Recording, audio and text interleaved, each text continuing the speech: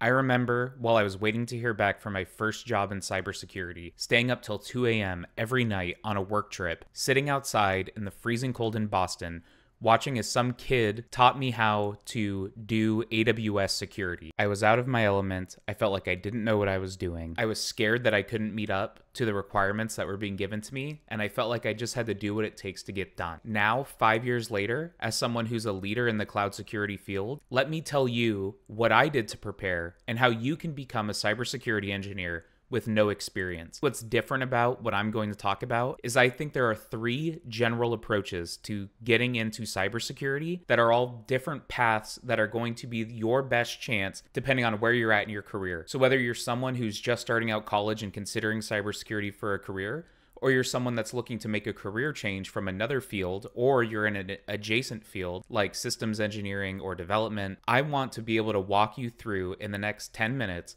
how you can pivot into cybersecurity with the minimal amount of training, effort, work, really making it as clear as possible how to make that transition happen. First, I'm going to talk to people who aren't in tech, who have no experience in security or technology or development. Maybe you're just considering cybersecurity as a major at your college.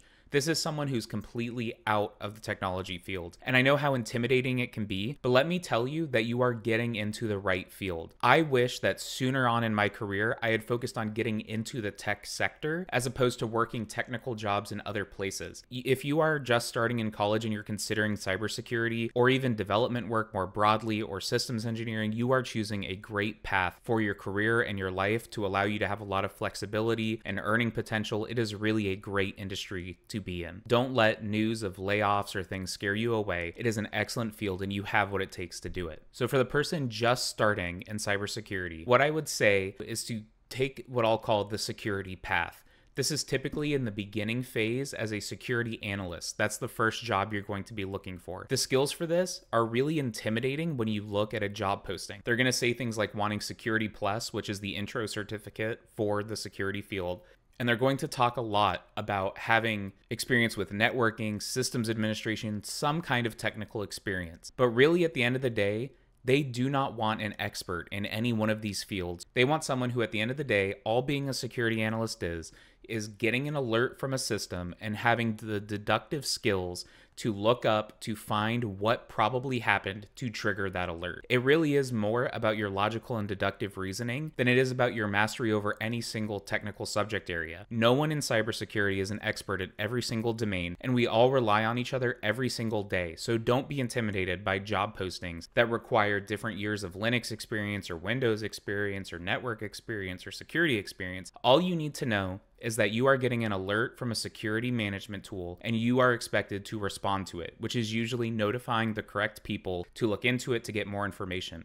Over time, as your career develops, you will become more comfortable working directly with the technologies that are triggering the alerts because you're more used to working with the teams that do them. So, the best skills you can work on are both deductive reasoning and how to communicate well with people to be likable and friendly because they're going to be the main ones giving you the information you need to develop in your career. Some great technologies to get familiar with to put you ahead to help you stand out ahead of others. First, the Security Plus is the baseline certificate for this arena for a reason. It's a great baseline certificate to achieve to go after. But it's not just that. Really, Security Plus in some ways has become outdated with the advancement of cloud technologies. And you might be intimidated thinking, I need to go become an AWS cloud security expert. And that's certainly a path you can do. But instead of trying to rush straight to that end goal, you're going to be a lot better served by learning just modern development processes. So if you can learn containers, Kubernetes, AWS, GCP, Azure, these technology baselines and just the general understanding of them are going to help you more than any specific specialization. So really I'd suggest that. Take your time, go through the path to become a cybersecurity analyst and really spend time learning those baseline technologies as much as you can. And don't be intimidated to apply to network, to get to know people, to get that entry level position. It's going to be a great position that is high paying and will be a great opportunity to grow in cybersecurity. Second, I want to talk to someone who has a background that's more familiar to my own. I came up into security via help desk, into systems engineering, into cloud engineering, into cloud security engineering. And so my approach was really focused on networking, I think is a great baseline skill to have across anything because it's I think, the hardest part of system engineering. And it's the skill that a lot of modern DevOps and cloud teams really don't have because the cloud makes everything so easy for you that having the understanding network layer of what's happening is a great fundamental skill to have. Really, what's important about trying to transition out of systems engineering and into security is trying to first understand the technologies that security teams are using and volunteer to help set those up, to help manage them. On the endpoint side, this is stuff like antivirus, right? It sounds like a boring, simple thing installing antivirus. But as these technologies have become more advanced as endpoint detection response tools, you can really put on a resume that you were the EDR systems manager and the lead incident responder for those incidents.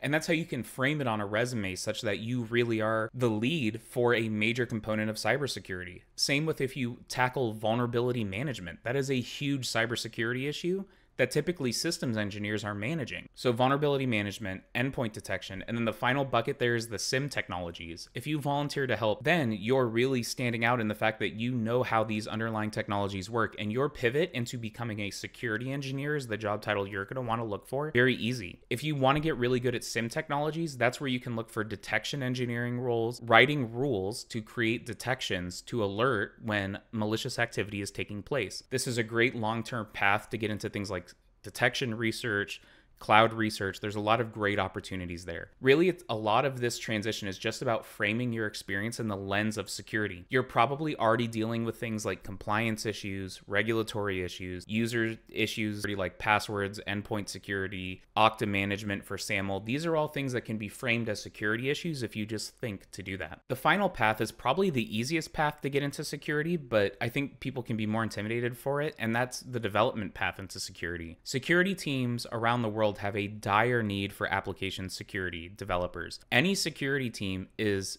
both ecstatic and desperate for developers who care about security enough to get involved and try to find and fix issues. Heck, if you are a developer at a company and you volunteer to just join the security team, I would be shocked if you were ever told no. But if you were, many organizations are building what's called a security champions program, where developers are selected upon their teams to become security champions for the org. This is something you can easily start yourself, and being a developer security champion is a great way to frame your experience such that if you're applying for a new role, you can easily move into application security, product security, cloud security. Those lines are all really blurred, and so don't feel like you can't apply for a security job just because you're a developer. So I want to talk about some things I didn't say, right? I didn't say getting those hard to get cloud security specialty certifications. Those simply aren't necessary right now because the need for security engineers is broadly so large. The other thing I didn't say is coding, and that's because coding experience is always a plus to any security engineer, really to anyone's role, but it's not a fundamental skill that most organizations are looking for to get into security.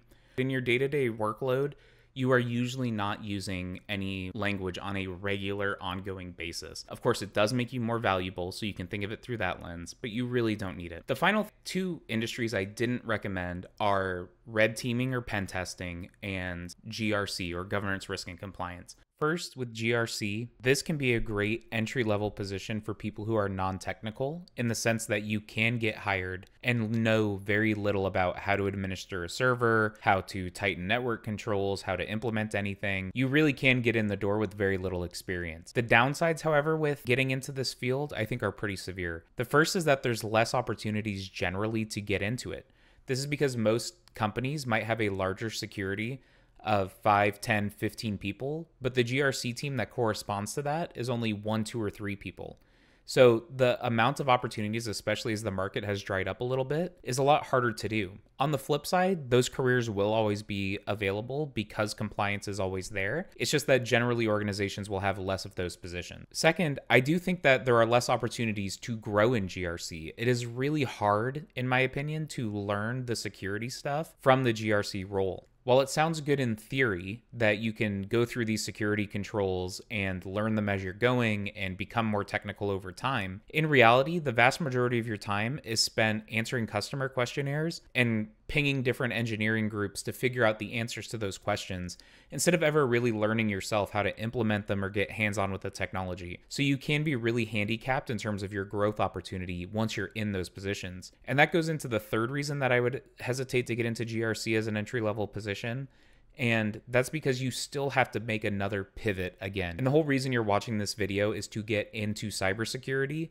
not to get into like an adjacent cybersecurity esque field and then have to pivot back into it anyways. It is always going to be difficult and stressful to try to pivot from one career path to another. And so it's easier to get that done right away if you're just entering the field instead of trying to get into something that might be in the short term a little bit easier, but ultimately hampers your ability to transition later. The reason I didn't talk about pen testing or red teaming as an entry level position is because you can end up having to spend a lot of time really getting good at a lot of things that are not otherwise helpful. So generally the skill set for pen testers is getting really good at Linux, getting really good at web applications. And these two skills definitely will help you in general, right? If you're a systems administrator, that's great. If you are getting into web development, that's great. But notice that those two areas already have other pivot points available to them that I think there are just more job opportunities because most large companies still do not have a dedicated red teaming function or a pen testing function into their organization. So there's a much smaller pool of companies that can hire you and and while being a bug bounty hacker can be fun and rewarding, it's not a great option for someone just trying to break into cybersecurity because really they're going to be able to get other jobs more easily out of it. Those can be that can be a great transition if you're already pretty technical, if you're already doing things like Linux admin or if you're already a developer. Those can be really fun and cool opportunities, but I wouldn't say that they're like a solid standard